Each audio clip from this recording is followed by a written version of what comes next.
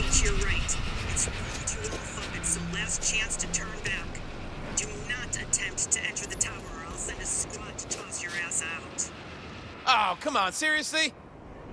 And actually, a squad of soldiers sounds pretty good.